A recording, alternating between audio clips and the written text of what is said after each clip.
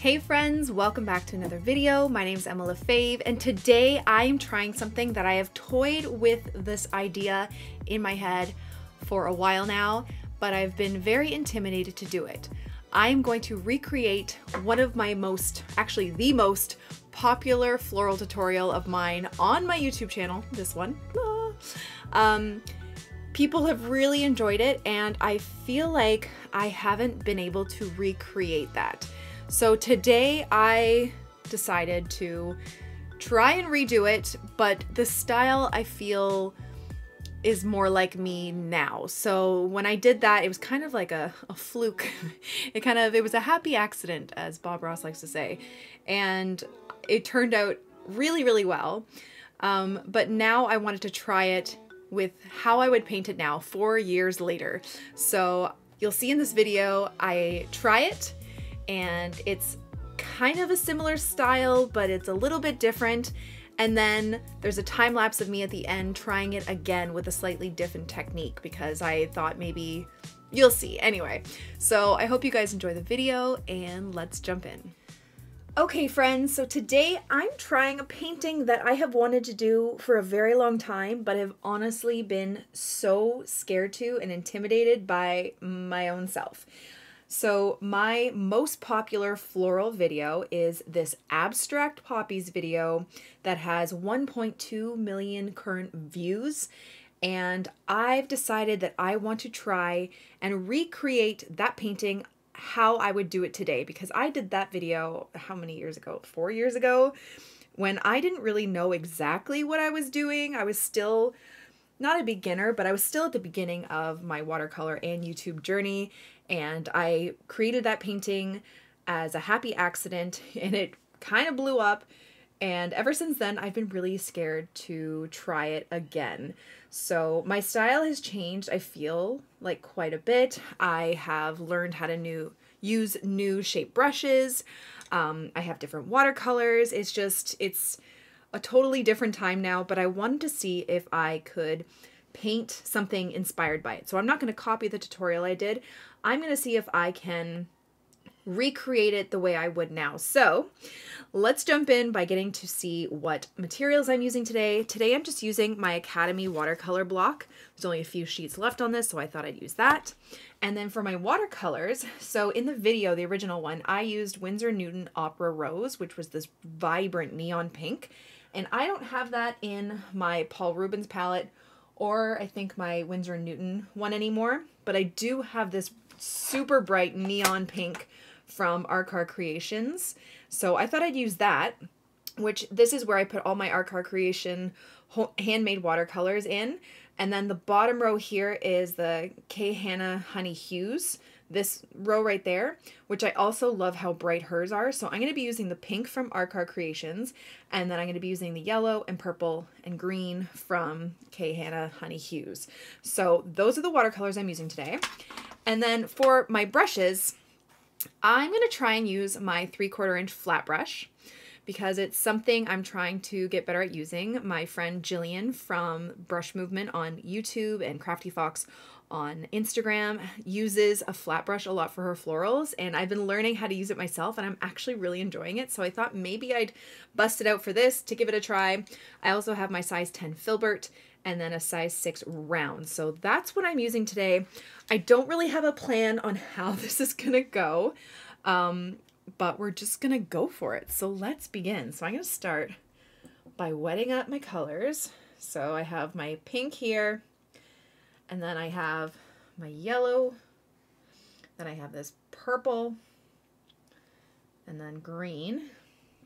So I think I wanted to start by using this like really watered down vibrant pink just to kind of map out my colors. And I'm not going to do the exact same flowers. I'm going to kind of just, I don't know.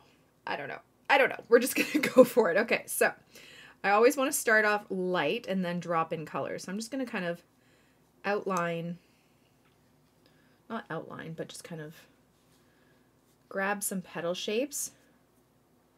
And I like the geometricness of using this kind of flat brush. It's just, it's interesting to use and honestly before I started watching Jillian, I never really considered using a flat brush for this outside of like landscapes. So I thought it would be kind of interesting to try it for this. So I'm just kind of laying down these shapes. And the one thing I've learned with a flat, flat brush, flat brush, is that if you kind of, instead of doing like straight stagnant kind of movements, if you, this is just like a little cheat sheet, if you curve it, you'll get much more curved.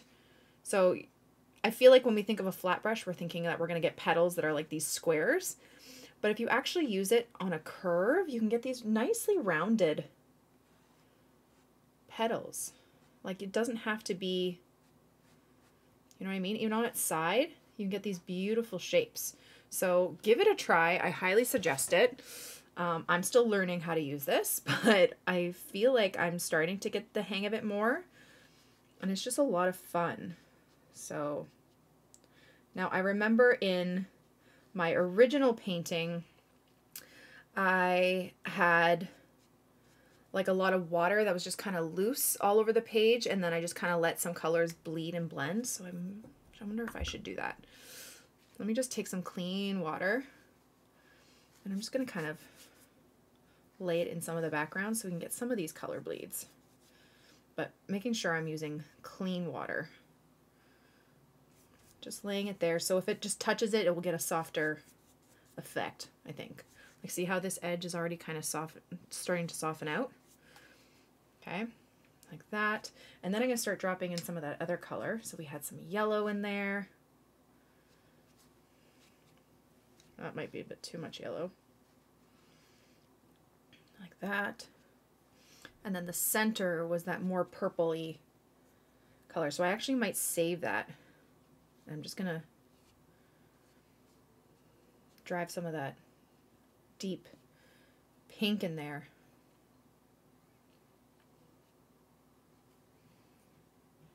I kind of like it. I don't know. Let me know what you guys think. Okay, I'm going to do one over here now, I think. kind of want to soften out this edge. Okay. So I'm going to grab light wash of this, and then I'm going to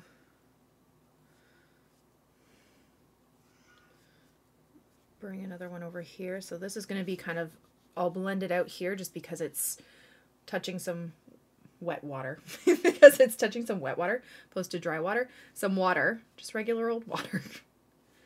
Gonna have like a side view almost. Like that.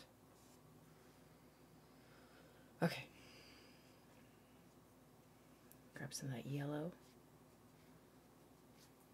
Grab some more of that pink. So I feel like some things that I've learned in the past, I gotta see how much, how long ago that video was. I feel like it was a long time ago. Okay, I just checked. It was four years ago that I did that video. So I feel like in the past four years, I have learned quite a bit, and my style has changed a lot too.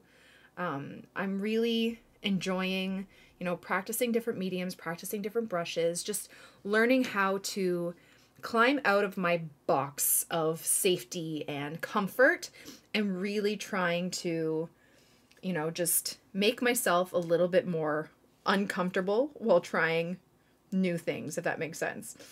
Um, and I think that's really important as an artist. And finding artists that inspire you and push you to try new things is also great. So, Jillian has definitely been one of those artists that have done that for me. Um, you, she definitely needs a lot more followers or subscribers on her channel. Just the things I have learned for her that from her, the techniques, her use of color has just been so um, inspiring and helpful. And she's one of the few YouTubers that I actually watch their videos. like I try and watch others, but my my attention span doesn't allow for me to be too attentive to some things, but because I love her style so much and her her pieces are just they they draw me in, I find myself watching her a lot. So if you're not already familiar with her, you need to go and check her out for sure because she has so many amazing things that you just need to check out. Okay, I'm wondering if I should grab some purple and just start to kind of just add some in. See, it's still giving the same vibes as that original painting, right? Just kind of trying to drop a little bit in there. But it's a little bit different, you know?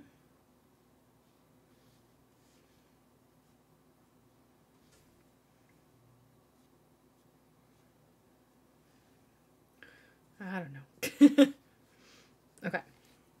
So I think I did four poppies in the original. So maybe I'll just do, um, oh, I wanted to do like, eh, there, some splatter on the wet part especially. okay. Um, I want to do one more kind of bud-ish one kind of down here. So I'm going to do this. But yeah, so finding inspiration from artists that really, you know, catch your attention, I think is huge because I think when when people see artists like myself or others on YouTube, they think, you know, we just watch ourselves, we stick to our own style, um, you know. But for me, I find myself inspired by other artists all the time. And the trick is to try to find your style through inspiration from other people, right? And I think that's that's the same with anybody who's not, you know, maybe an established artist. When you're first learning, you're learning from tutorials, but you're also trying not to copy completely. Like you want to copy at the beginning, but then you're like, okay, I've got this down. How do I find my own art style? And that's can be really tricky for a lot of us. So we're struggling with well i'm struggling with that too i don't speak for other people but i definitely struggle with that too and trying to find myself as an artist so i feel like watching others and just kind of learning from them has really helped me in a lot of ways just kind of discover who i am and i'm it's changing and evolving and i am loving it so yeah so okay so i'm going to add some green i love the vibrancy of these Kay Hanahue honey honey um, watercolors. They're just so beautiful. They're so vibrant. And then this pink from Arkaar Creations is gorgeous. Okay, so our poppies have these like thin-ish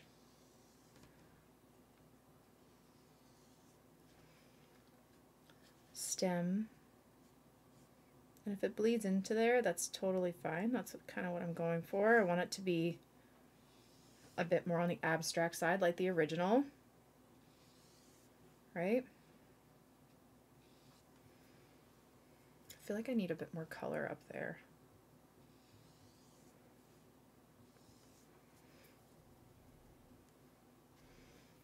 A little bit more pink.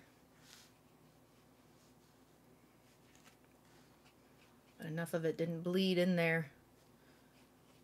Maybe I'll just do some pink splats up here, like that.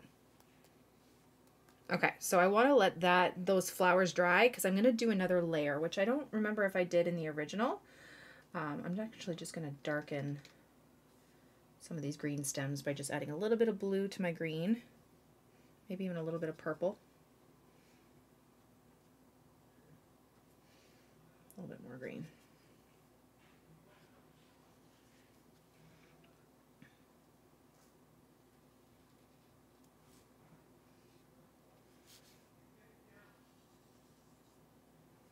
wonder if I should add leaves to this one because I didn't to the original but I I do love a good leaf and poppy leaves are a lot of fun I don't know. Do I do? No, maybe I don't. I'm too scared to. Okay, so I'm going to let this dry and then we will do our second layer. Okay, so now that it's dry, I'm going to go in for my second layer. I'm really nervous because I really like the way this one looks and I don't want to mess it up, but it definitely needs something. This one just looks like a blob to me.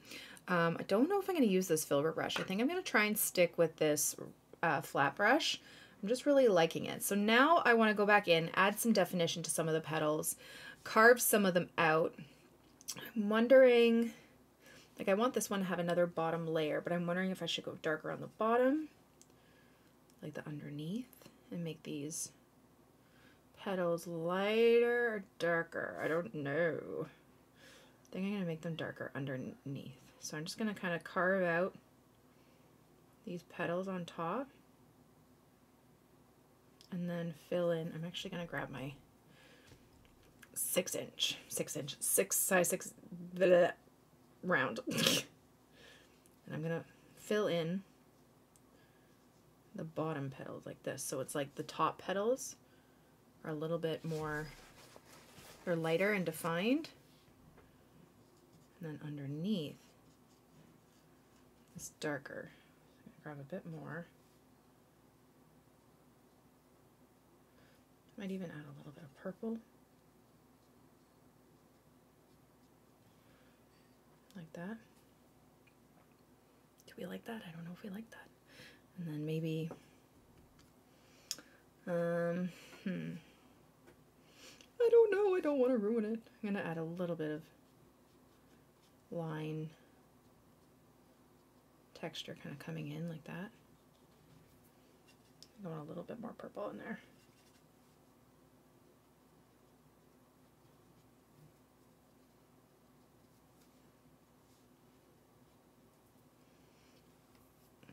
I think that looks kind of cool.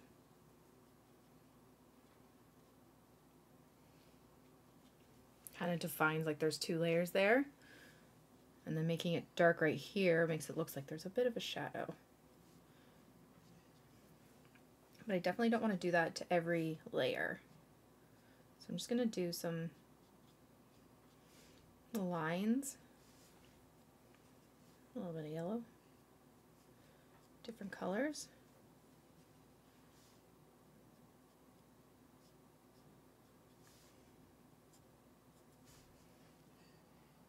Kind of like that. I kind of want another poppy somewhere so I can use a bit of negative space. And then this petal looks a little off here. Maybe I'll just curve the side so it looks like it's folded a little bit. So I'm just darkening this one side here. Like that. Okay, I like that one. I think that one looks really cool. Um, this one, I want to carve out the petal a bit more like it's kind of a side view. So you're going to see the bottom part of this petal. I feel like it needs to be that kind of uh, dark pink.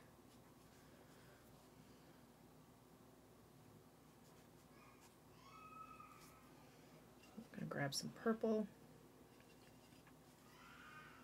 Oh my gosh, if you can hear my son screaming downstairs, I'm sorry. He screams like a little monkey, like a banshee. And that's an excited scream, by the way.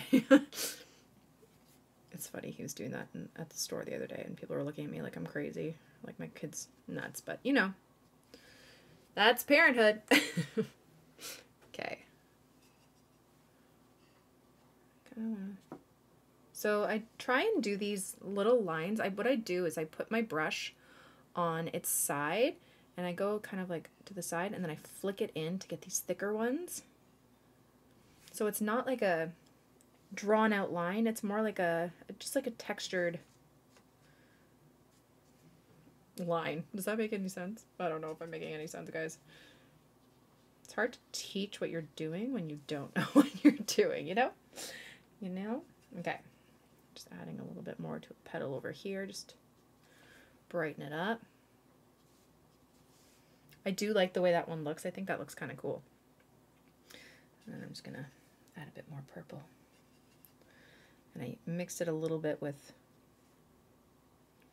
my yellow, which is muting it just a little bit.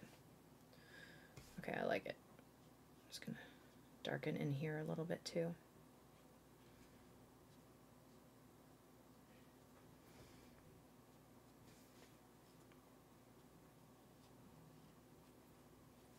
Okay, I like it. I like it. Okay. And then this one, okay.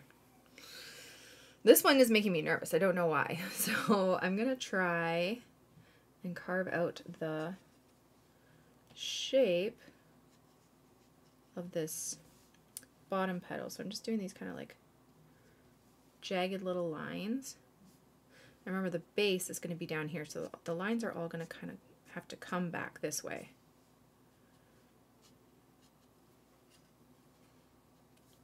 little bit of purple.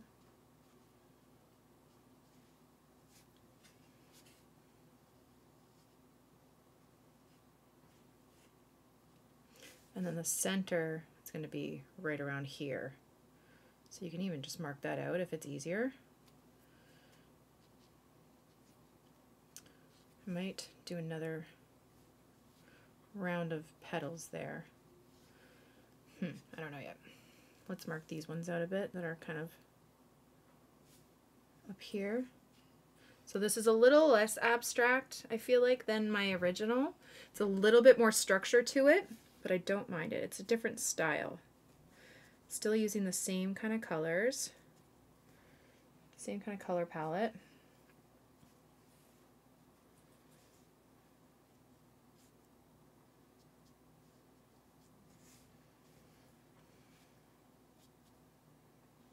Feel like I might want to put another, like maybe a, a bud or something over here to get a little bit of like negative painting going on. A little bit of yellow in here.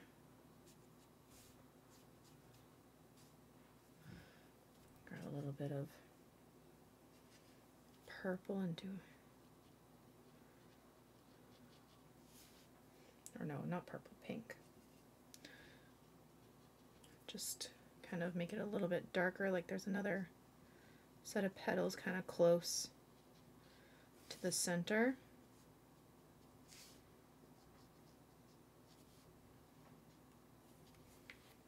I feel like once we add in the stamens, it's going to really come together and you'll be like, oh, that's what she was doing. So I'm going to separate this petal. I want a little bit of purple in here.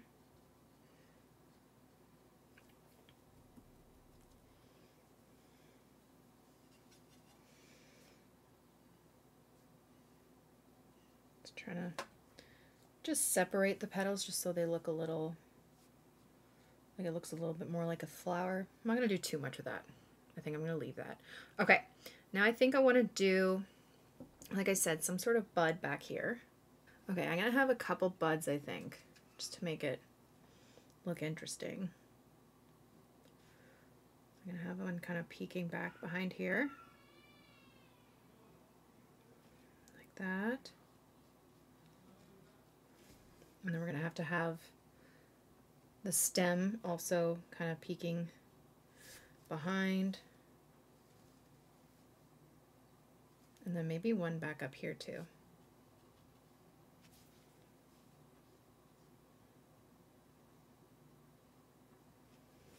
I need a bit more green.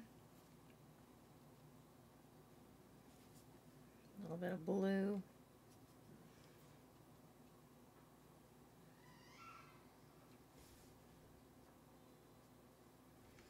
I think one over here just kind of like curving like they do will look nice. Just to kind of balance it out a bit. So I'm doing like a half circle and then a little line, leaving a little bit of white space in the middle. Like that. And then it's going to come down. Let's darken the bottom here a bit.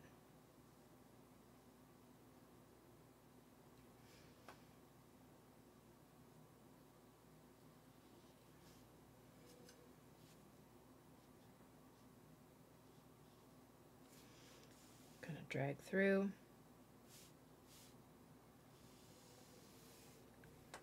Like that.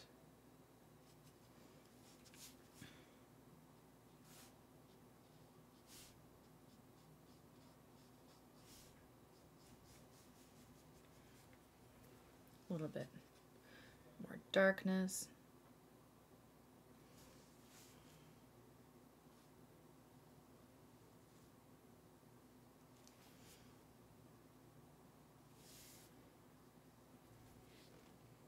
I like that. Okay, that's cool. Okay, and then I want to, what do I want to do? okay, then I want to do the center of the poppy. Okay, so here we go. So I'm going to grab my purple. Now it's dark, but it's not too, too dark. So I'm going to grab a little bit of blue maybe, just to make it a little bit darker. And then I'm actually going to grab just the purple again, just so I can have a variety of different. So I'm going to start off with the lighter one. And I'm just going to do, oops, I put my hand in it. This kind of like dome shape. Like that. I don't want to do too, too much detail because I still want to keep it kind of more on the abstract side. And then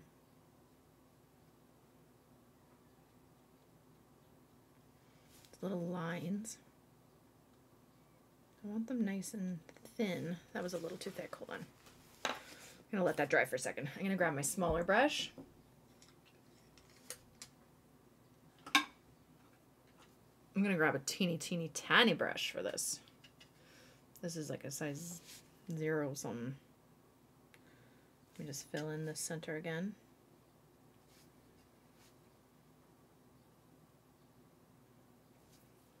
Actually, let's do the other center because that one's still a little bit wet. So the dome's kind of facing this way because that's the way the flower's facing. Grab a little bit of that darker color.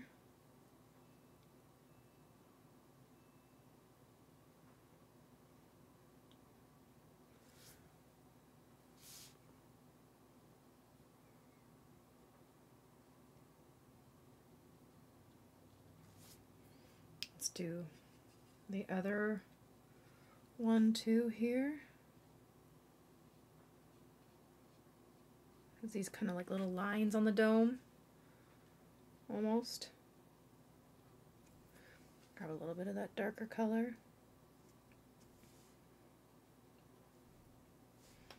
Maybe just like a little peak of it here. All right. All right. Then I'm going to take my tiny little brush. It doesn't have to be this tiny. I just made it this tiny. A little bit more purple. All right, and then I'm going to do the tiny little lines with the detail brush. Doesn't even have to be in every single, like doesn't have to all be together. You can just do some of them if you want.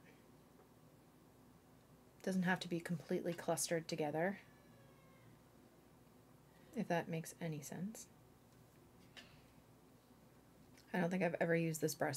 brush. This is like one of my tester brushes that we were like picking out sizes for my Craftamo collection. So this is not sold. I'm sure they have detail brushes though on their website, but this is not available. So in case you're wondering, you can just use a small brush. It doesn't have to be this tiny. I like it though. I do like this kind of want to make the centers a little bit darker. A little bit more blue, a little bit more purple, a little bit of green, kind of blackens it up a bit.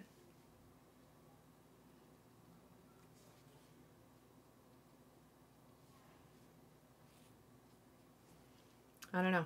I don't know. Kind of like that though. Like, is this done? Is it not done? I don't Going to add a little bit of pink. A little peak of pink in there.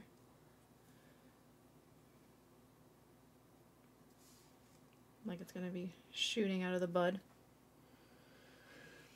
And then the real question is always, is it done? I feel like there needs to be another round or layer of petals here or something.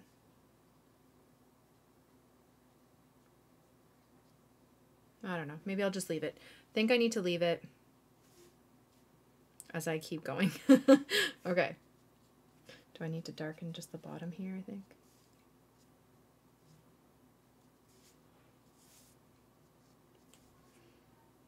And this is the fun thing though, is that you can always keep going. Like you don't have to stop. That's kind of how you learn. Sometimes you make really good mistakes, sometimes you make awful ones. But like how are you going to learn if you don't try, right? So you got to make sure you remember this is just paper. Okay, I think that's, I think it's done. Um, I really like the change from my original. It's a lot of fun. Like this was so much fun to do. A lot less intimidating than I thought it was going to be. So that's always good. So after I finished that painting and I took a step back and I looked at it, I felt like it was lacking the softness that the original painting had.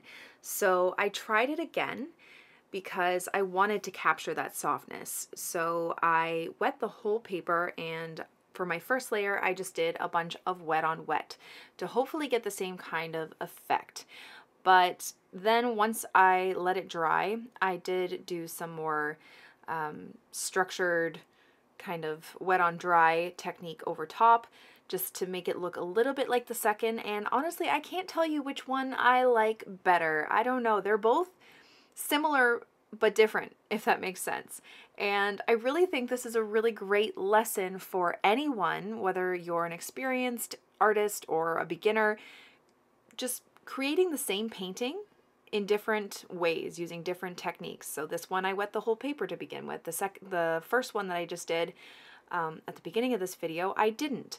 So there's just fun different ways that you can create pieces and then you can take away what you like from each piece. I feel like too many of us are just so nervous that we need to go in and create this masterpiece right away. And it doesn't always work out. And sometimes we try things that don't work out or we don't like.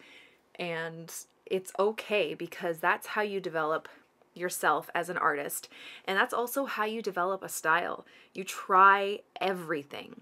So I think I learned a lot from this and I had a lot of fun and I got two pretty cool paintings out of it. And I'm no longer scared to try something that I did a long time ago. So you'll have to let me know in the comments below which one do you like the best? Um, I love to hear your thoughts on this video and that's about it. So here is the final painting and you'll have to let me know which one you like better. Have a wonderful day guys. I'll see you soon. Thank you guys so much for watching my video. I really hope you liked it and I hope you learned something. Don't forget to subscribe to this channel and follow me on all my other platforms for tons more content. I'll see you guys again soon. Bye.